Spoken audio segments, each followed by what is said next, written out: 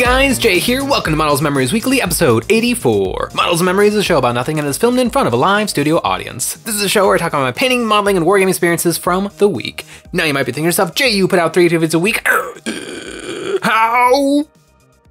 Could I possibly have more to say? Well, I do, and here goes. This week, Games Workshop showed off a whole bunch of super interesting new things, but first I want to talk about I painted 200 zombies. Every now and then, I, I, get myself into a situation like this where I have a neat idea. Why don't I paint just an ungodly amount of stuff? Because stuff tends to pile up around here. And I painted some zombies. The video just came out this Wednesday, and I am very happy with them. I got to play around with some oils, which I am still not very good at. I think I've tried oils maybe six or seven times, really. And really, I don't think I'll have a good grasp of them until I'm like 50 to 100 models deep into oil painting, but I really like how these suckers turned out, and I'm very excited. Again, I've had this idea forever to have tons and tons of zombies because you play enough war games, you start to know how things go. Orcs versus, you know, I'm going to lose against orcs, I'm going to lose against Eldar, I'm going to lose against Dark Eldar, I'm going to lose against Chaos Space Marines. I'm just going to lose because I always lose.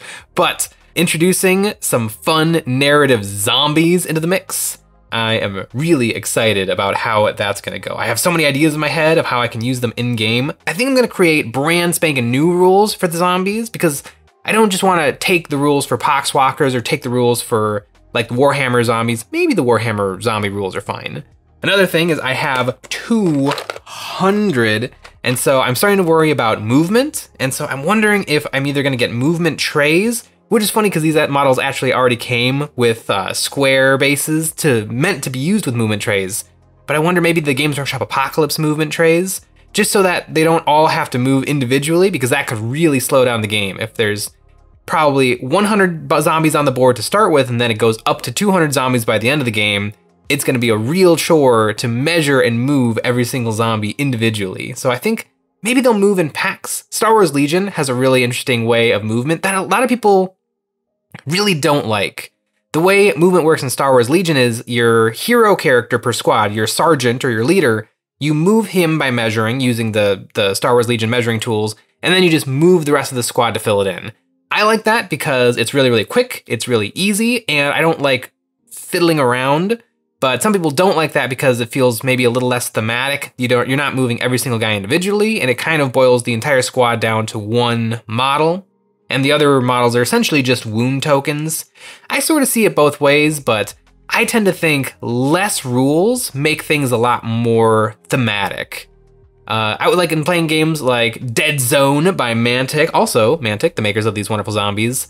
Uh, in Dead Zone, I feel like the game is a lot more thematic because there's far less rules. And so if you want to do something fun, like shoot a flamethrower at something, you just move the guy and shoot the flamethrower. And that feels like I am that guy and I'm going around the corner and then I'm gonna light up the enemy with my flamethrower and we'll see what happens. As opposed to like I'm playing Warhammer 40,000, I have my Black Templar and I'm like, okay, my sword brethrens have chain swords, but I'm gonna use the stratagem Might of the Emperor to give those chain swords a plus one to hit. And I'm standing within six inches of Helbrecht, and so I'm gonna use his ability, uh, Faith of the Imperium, to bolster the wound rolls, and so now I'm rolling one extra dice to hit, and I'm re-rolling wounds. That once you start to add in all of those uh, modifications, it starts to feel a little bit more like a card game where I'm building a deck or I'm building a an action as opposed to just I'm a dude doing something.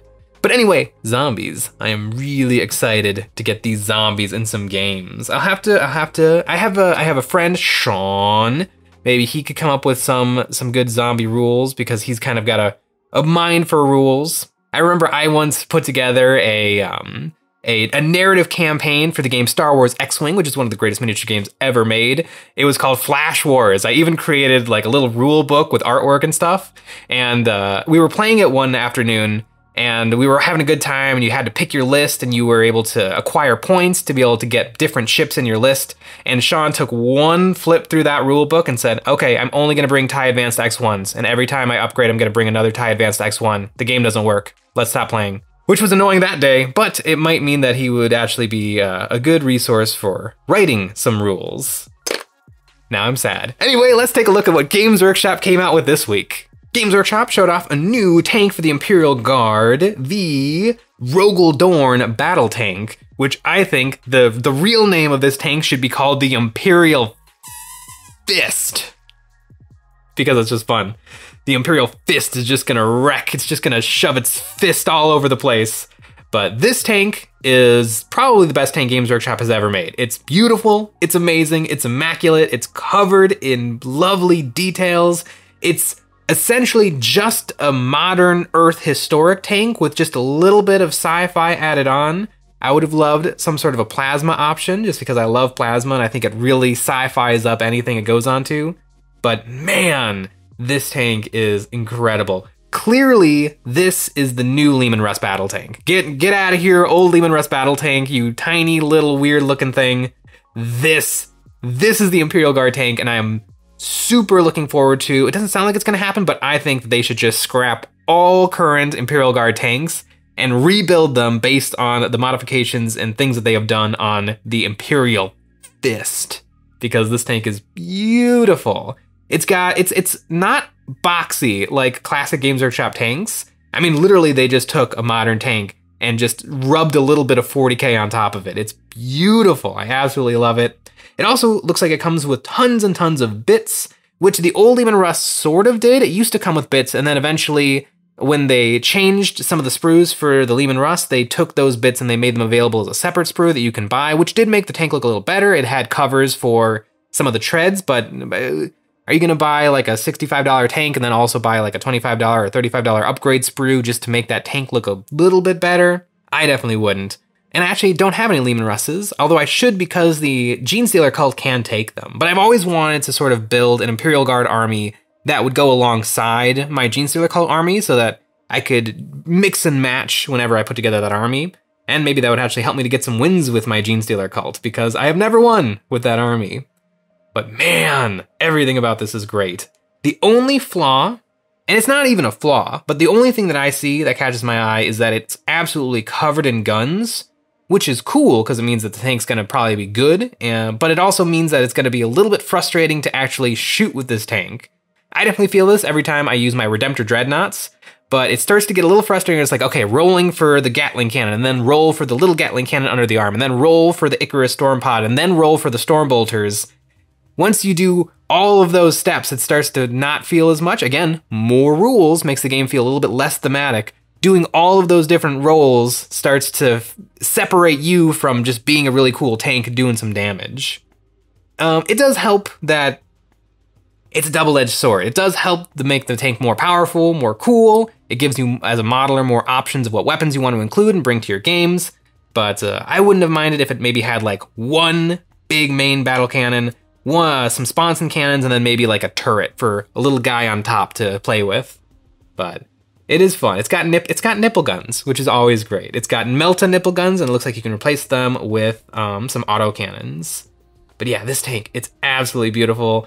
Oh, I'm so excited. A lot. I think that this is going to be a tank that is going to inspire a lot of Golden Demon entries because a lot of people absolutely love building like model tanks and model airplanes and lovingly recreating all of that grit and grime and dust and ground and landscape. And I definitely think that people who really love that, but can't necessarily take all of those skills and attribute them directly to something from the Warhammer 40,000 universe, this is just a tank. It's literally just an Earth tank. And so I think that we're going to see some really cool, like, Saving Private Ryan Band of Brothers style models that people are going to paint up, and it's going to be amazing. I absolutely love this tank. And at the bottom of this article, it does tease that there will be one more new release for the Imperial Guard. I think we were all expecting that this big tank would be the thing, like the big selling point of the new Imperial Guard and like why you might want to collect Imperial Guard now in 9th edition, now that we're getting a little bit close to 10th edition. But um, there's apparently one more thing. And if I had to guess, I'd have to guess it's going to be Commissar Yarrick because he just got dropped or put into Legends, the old Imperial Guard Yarrick. And I can't imagine that Games Workshop is just going to delete that guy, especially since like the flagship animation for Warhammer TV was a all about Yarrick. So I bet that they bring him back and they give him like a new plastic model that's going to look really really cool. Uh, or maybe they keep going with the uh, the Commissar Creed, and now it's his granddaughter who is leading the Imperial Guard in his stead. Uh, I think he's trapped in a vault in Trazyn's library. So maybe they're gonna have uh, Yarrick's nephew. Yarrick's nephew, and he's not gonna have an orc claw. He's gonna have like a striking scorpion claw. I bet I bet that that's the new that's the new thing that they're going to be releasing for the Imperial Guard. But yeah, this tank tank A plus, 10 out of 10. Everything about it is perfect. It's really really cool. But enough of the Rogal Dorn tank, or as it should be called, the Imperial Fist. Next up is the new Warcry box, which I actually really liked the look of the old Warcry box. I was a little bit iffy on the terrain, but I actually saw the terrain in person and it's really, really cool. It's big. It's way bigger than it looks in the Games Workshop promotional images. And this bo- and this uh, this new Warcry box seems like it's more of the same. Chameleon Skinks hunt Jade masked Tzeentch cultists in the new Warcry box, Sundered Fate. Gloomy root halls filled with treasure are just a fragment of the true bounty resting in the heart of the ravaged ruin, the downed Seraphon temple ship once known as the Eye of Kotek. it's time to venture deeper into Talaxis, where two new warbands are preparing to battle over the mysteries found within. It's always so hard to read the Warcry articles because they shove in so much alliteration and so many fake words, but it's also kind of fun. This new box is the same as before, it's got some lovely terrain and two warbands, but finally, Finally, it's not a human warband, it is a Seraphon warband, and that actually makes me really, really interested in actually getting my hands on this thing.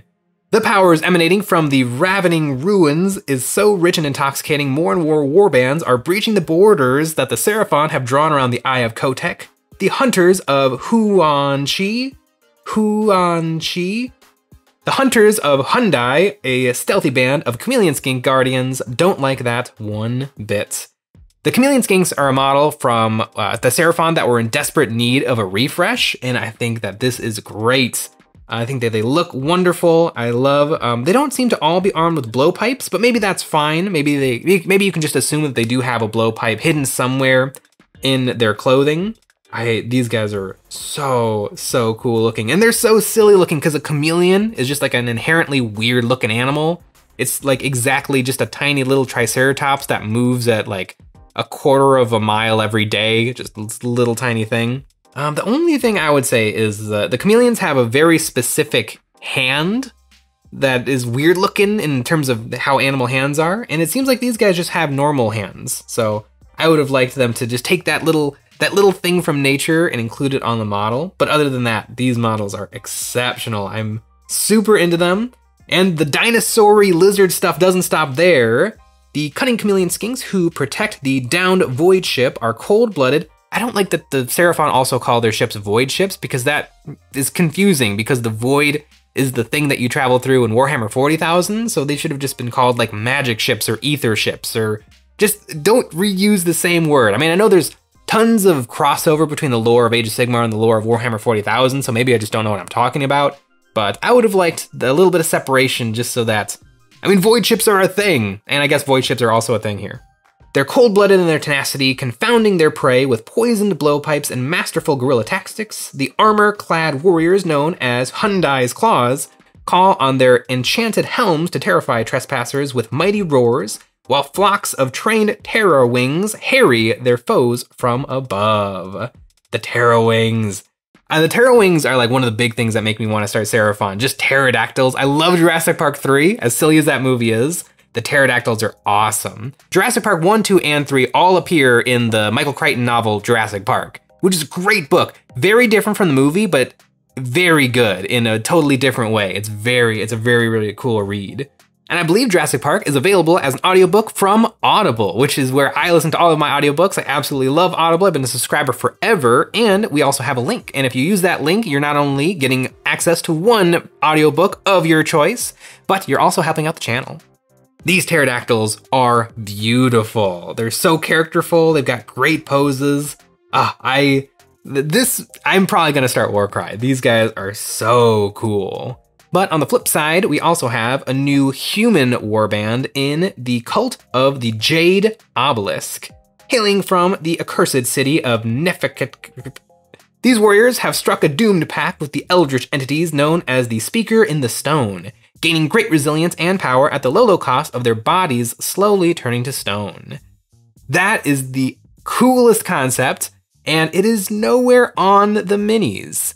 Perhaps their masks are their face turning to stone, although that doesn't also make sense because how could they have a stone mask and also like be eating stuff and staying alive? Maybe the powers of the eldritch entity known as the Speaker in the Stone is keeping them alive. These models are great. They're super cool. They look very Warcry, but if they were turning to stone, like maybe their arms have already turned to stone, like each one has like one arm that's already turned into a weapon. It's turned into stone and then they've carved their own arm into a weapon.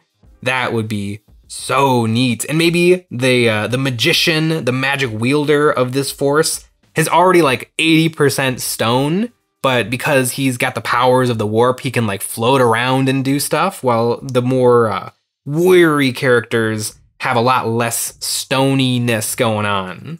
Uh, I wouldn't say that these guys are stoned. I definitely wouldn't on the actual miniatures because there's they have cool decorations and jewelry, but I don't see them actually turning to stone, which is a little bit of a bummer. It's a really cool concept. I don't know if they accidentally just mentioned that in the article or if that's pulled from the uh, the lore that's going to come out in this book, but that is one tiny little thing that I would have really liked to see. And of course, the terrain is wonderful. The article states this particular knot of Gnarlwood is represented by even more fleshy gnarloaks. Gnarl oaks, so gnarly oaks. Plus a scattering of palisades and ruins. New to this box are bamboo platforms for your cheeky chameleon skinks to skulk about from on high, plus a comfy hollow refuge, which gives a glimpse of how warbands might survive in such hostile environments. Flesh trees. Who doesn't love flesh trees? This terrain is different from the previous terrain, but it's in the, it's it's like the same type of stuff, which means that if you have that box and you add this box to it, you're gonna have more of that stuff. And I might I might have to check on eBay to see if I can get the old terrain because I, I, I liked the old warbands enough, but like the if I could get my hands on that terrain for cheap and then add it to this box, uh, that would make for a really cool Warcry and Age of Sigmar battlefield. This stuff is dope. Warcry, Warcry is looking better and better all the time. This box is really, really cool. They have a beautiful picture of all of the stuff together with a little bit of uh, a vape smoke to add a little bit of ambiance. It's wonderful. Ah, Warcry, double thumbs up. And speaking of things that probably should have come out a long time ago, the Leagues of Votann are finally, finally available for pre-order.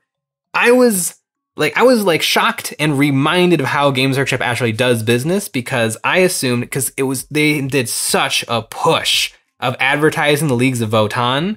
And so I was like, okay, Leagues of Votann, are we ready to go? And then the army box came out and sold out in like a couple of minutes, and then nothing for like three weeks.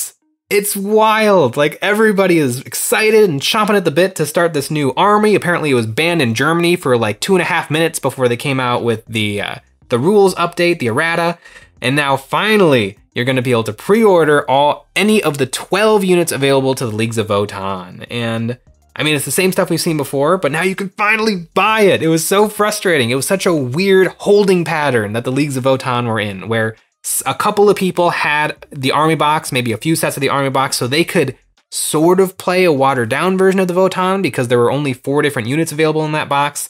Now you can finally put together the Leagues of Votann. And it just reminded me of that's that's actually how Games Workshop does stuff. They come out with an army box, they just let that exist in the world and sell out, unless it's a Black Templar one, which no one wanted. They let that sell out, and then later they actually drop all of the normal things. But I'm really excited not to buy the Leagues of Votann, but I'm just excited for people to get their hands on Leagues of Votann because I want to see all of the really cool color schemes and conversions that people do with these models. I really like everything about the Leagues of Votann. Maybe not the Arthine, Arthine Warriors, the Arthine, the Einhyr, Einhyr Hearthguard Warriors, the the squat Terminators. Those guys are just a little iffy for me, but maybe people are going to come up with some really cool stuff to do with them. And if anybody was wondering about maybe where you should pre-order or try to get the Leagues of Votann, you can always get them from Valhalla Hobby. They're a wonderful little game store that does offer a nice discount on Games Workshop products. And if you shop with the code EOB11, you can get 5% off your first order from Valhalla Hobby. Ooh, one thing I don't know if they showed off before is the Leagues of Votann dice set. And they're nice. They are yellow and orange with the symbol that better be on the six. Yes, the symbol, the Leagues of Votann, uh, dwarfy face is on the six, which is perfect. Don't ever put it on the one. Don't have two. I've seen I've seen Games Workshop dice sets where there's two different designs, one for the one and one for the six. And so you just have to memorize which one is which and then explain to your opponent which one is a one and which one is a six. And there's a little room for cheating in there. So yeah, good dice. Oh, and cards. Don't buy the cards. It's silly. Don't get the cards. They're dumb. Finally, people can pick up the Leagues of Votann. But the thing that really threw me through a loop this week, the thing that got my blood boiling and just ah, got me hot and bothered was Army Painter put out a video talking about their new development team, including some of my favorite YouTubers. Um, I was not a part of it, but I don't care because I have way too much going on. Also, apparently, some of the creators are going to have to come up with colors, which I feel like I would be really bad at. Eons of Blue, there's one, but uh, eons of green. Hey guys, Jay here. Welcome to the green paint. I don't know. But the thing that really got me in their video was that they're going to be changing the formula for Army Painter Speed Paint so that it no longer reactivates.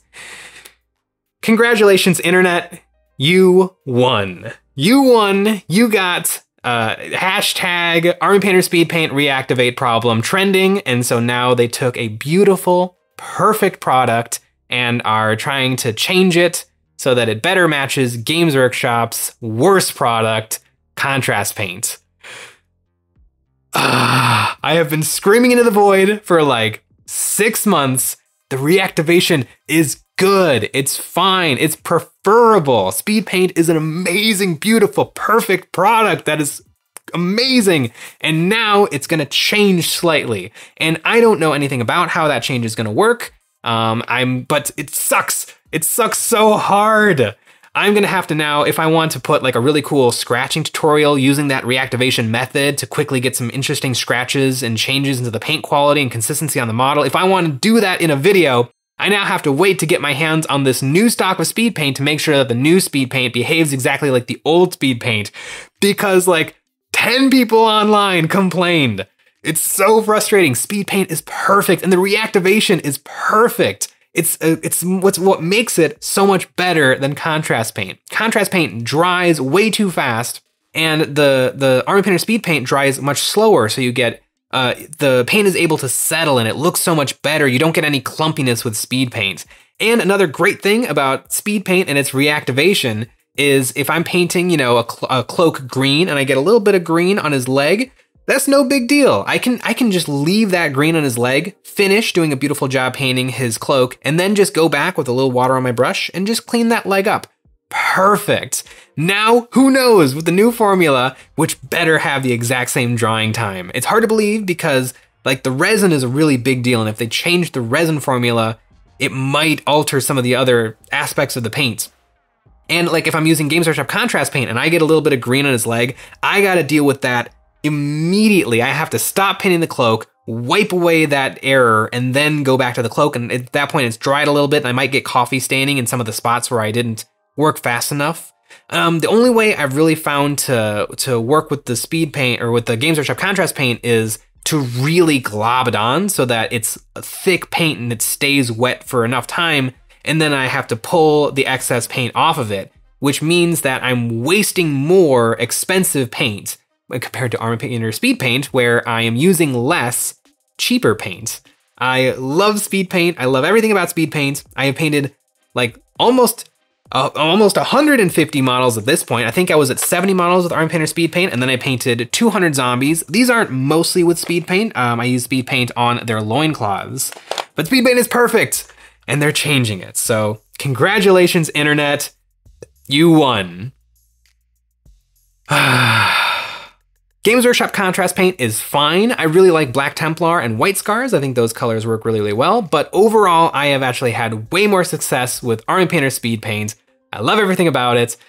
And now I'm gonna have to buy more of it and see if the new stuff behaves exactly like the old stuff so that I know that I'm I'm giving good advice and good tips when I show people how to use Army Painter Speed Paint. Very frustrating, very annoying. I don't know what to do.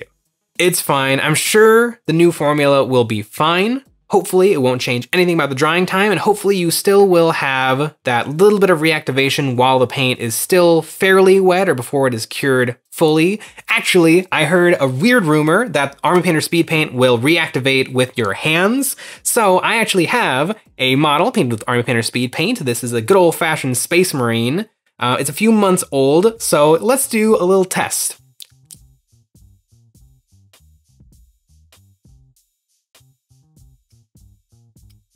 Hey, look at that! Nothing came off! Reactivation is not a problem! It's a feature! It's the best thing about the paint! It's what makes it different from the other competition out there. But because it doesn't behave exactly like good old Games Workshop's contrast paint, it is going to change. Whatever. The Army Painter Speed Paint announcement put me in a bad mood, but you know what always puts me in a good mood? That's right, our Patreon. Every single month, we come out with brand new miniatures and terrain to help populate your wargaming tables. This month, we had the Duchess of Paradise and the spooky carnival terrain, perfect for the spooky month of Halloween. We also come out with one extra episode of Eons Battle every single week where we take a look at our viewers' models and we give them some helpful critiques and criticism to maybe push them in the right direction. And we do a Discord hangout where we all just hop into a server and chit chat the night away. It is wonderful. And we have merch, link in the description. What a week! Warcry is looking really cool, and maybe I'll use the new formula of Army Painter Speed Paint to paint up some skinks. Thanks for watching.